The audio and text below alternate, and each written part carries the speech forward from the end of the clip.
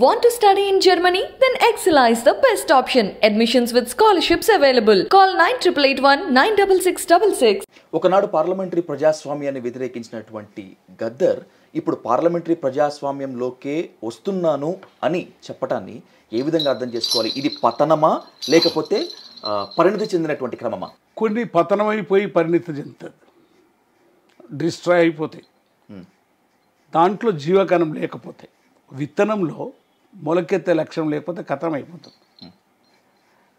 కానీ ఒక మనిషి డెబ్బై ఏడేళ్ళ నుంచి అనేక సిద్ధాంతాలు అనేక ఉద్యమాలు ఒక తుపాకి తూటాలు తీసుకొని ఇప్పటికి లక్షలాది మంది ప్రజల్ని కదిలిస్తున్నామంటే అతని ఆలోచనలలో సంఘర్షణ ఉంది సత్యం ఉంది.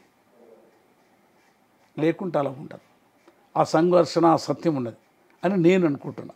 అందుగురించే పతనమైపోయేది ఉంటే ఎప్పుడో పతనమైపోవాలి. ఇన్ని మార్పులు జరిగినప్పుడు. ఓకే. ఎప్పుడో పతనమైపోవాలి ఎందరో పతనమైపోయారు చరిత్రలో డెబ్బై ఏడేళ్ళలో కానీ నేను ఫ్రక్షన్ పడుతూ కోట్లాది మంది ప్రజలు జీవిస్తున్నందుకు ఆ సిద్ధాంతం ఏదైతుందో కులము వర్గము అవి రెండు కలిసి ఉన్నాయి ఈ దేశంలో.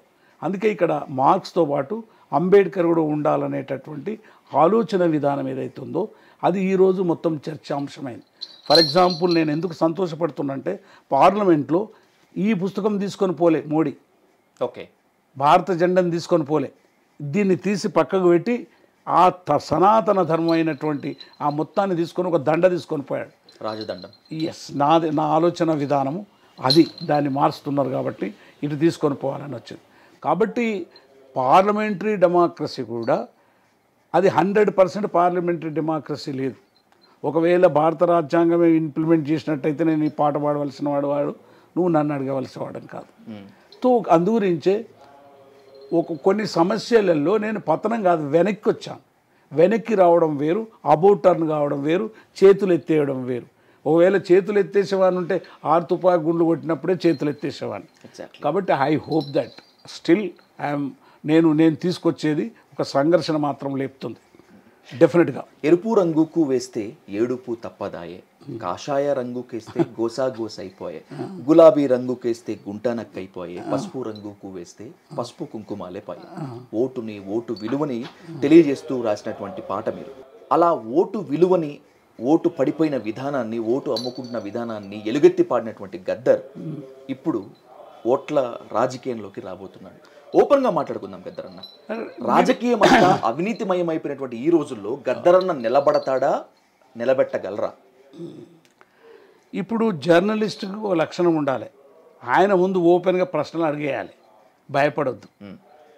ఎదుటివాడు ఏ ఆన్సర్ చెప్తాడో ఆ ఆన్సర్ను అది అవునో కాదో జీర్ణించుకోవాలి. రెండు ఉంటాయి. దట్స్ వాట్ నువ్వు భయపడేటోడు జర్నలిస్ట్ ఎట్లయితాడు? అందుగురించి ఓటమ్మ ఓ ఓటమ్మ ఓటమ్మ నిన్నెట్ల చేసి వస్తి కదా ఓయమ్మ. కద్దారు టోపీకేస్తే కన్నీళ్ళే మిగిలినాయి. కాషాయ రంగుకేస్తే గోస గోస ఆ పసుపు టోపీకి వేస్తే పసుపు కుంకుమ బాజే. ఆ ఎర్ర టోపీకి వేస్తే ఏడుపే మిగిలినాది. హా!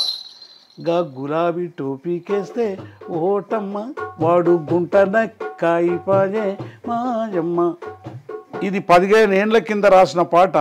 ఇప్పుడు హండ్రెడ్ పర్సెంట్ గులాబీ టు గులాబీ జెండా పెట్టుకున్నాడు ప్రత్యేక తెలంగాణ సాధిస్తామని చెప్పి సాధించిన తర్వాత అమరవీరుని అటువైపు చూడకుండా బ్రహ్మాండమైనటు పండుగ చేసుకొని బ్రహ్మాండమైనటువంటి చేసుకుంటుండంటే ఎవరి త్యాగాల మీద చేసుకున్నాడో అనేది నా నా పాట సత్యమైంది.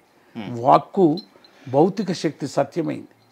నేను రాసిన అనేక పాటలు చాలా సత్యమైంది. ఇప్పుడు పదేళ్ళ తర్వాత ఈ పాట పాడితే అందరు అంతకుముందు అరే ఎందుకు అంటున్నావు అని నాకు ఉంటున్నాక ఏ పార్టీ జెండా అయితేనే ఆ పార్టీలో మెంబర్షిప్ కాలే. పార్టీ అంటే ఒక ఫిలాసఫీ ఒక మేనిఫెస్టో. దాన్ని ఒప్పుకున్నప్పుడు దాంట్లో జెండా కాలే. కానీ నేను దాంట్లో పార్టీలలో చేరలేదు ఇప్పటి వరకు. అయితే ఇప్పుడు ఓటు బందీ అయిపోయింది. అయిపోయింది ఓట్లది. ఓకే. మనీ మీడియా మాఫియా కోఫియా తోఫియా అనే ఐదు శక్తులు అయినాయి ఈ ఓటు అనేది కూడా ఇప్పుడు మన చేతిలో లేదు. World Bank IMF multinational company WTO and ఎఫ్డిఐల చేతిలో పోయింది. అంటే ప్రపంచంలో ఉన్న ఐదుగురు పట్టి ఆడిస్తారు ఓటును ఈ ప్రపంచంలో ఇటువంటి దశలో మనము ఆ ఫ్రేమ్వర్క్లో కూడా వెళ్ళి ఓటమ్మా ఓటమ్మా అనేది ఎట్లా జరుగుతుంది? ఎట్లా అమ్ముడు పోతున్నది? అందుగురించి ఒకే మనిషికి ఒకే ఓటు అని ఉన్నది ఒకే విలువ కూడా ఉండాలి. అందుగురించి ఇప్పుడు ఒకే మనిషికి ఒకే ఓటు అనే వరకు ప్రజాస్వామ్యం ఉన్నది. కానీ ఒకే మనిషికి ఒకే భూమి అవన్నీ పంచు పంచకం జరగలే. అందుగురించే ఇప్పుడు ఓట్ల విప్లవం చేద్దాం. ఓట్ల విప్లవం చేద్దాం. నా స్లోగన్. ప్రతి ఇంటిని ఒక ఓట్ల బూత్ చేద్దాం.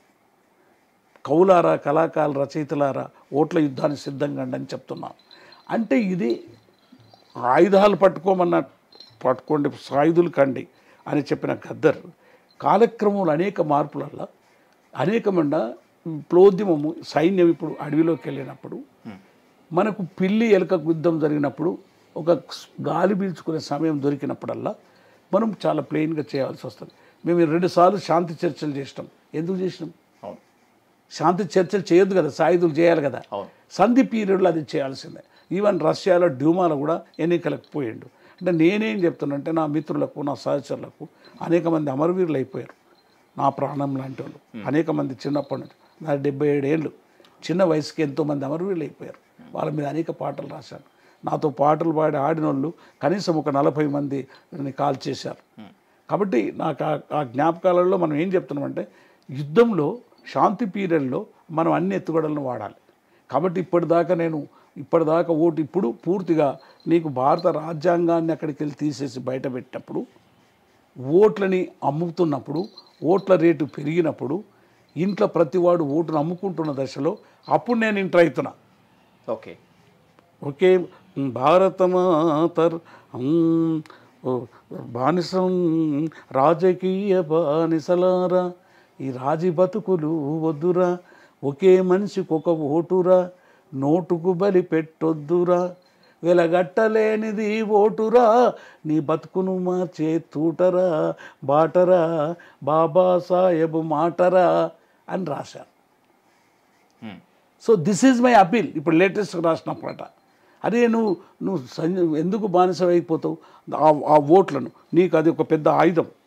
ఆ సా- ఆయుధాలు పట్టించడం చాలా ఈజీ. మనం ఐదుగురం కలిసి దళం పెట్టచ్చు. కానీ ఓట్లు వేయించే యుద్ధం చాలా కష్టం. లక్షల కోట్లాది మంది ప్ర ఒకటే ఇంట్లో మనం తమ్ముని కన్విన్స్ చేయలేం అమ్మని కన్విన్స్ చేయలేం. అది ఓట్ల యుద్ధం వచ్చేది ఇప్పుడు రహస్యంగా వస్తుంది. అప్పుడు నీకు అక్కడ ఓటు గుద్దినం అనుకో కూలిపోతుంది సో అందు గురించే నా ఉద్దేశంలో నా ఉద్దేశంలో ఈ ఈ దశలో మనము ప్రజల్ని ఓట్ అంటే ఏందో విలువ చేయాలి. అందుకే ఏం అప్పీల్ చేస్తున్నా మీరు ఎవరికైనా వేయండి కానీ మీ ఆత్మ లాంటిదా ఓటు.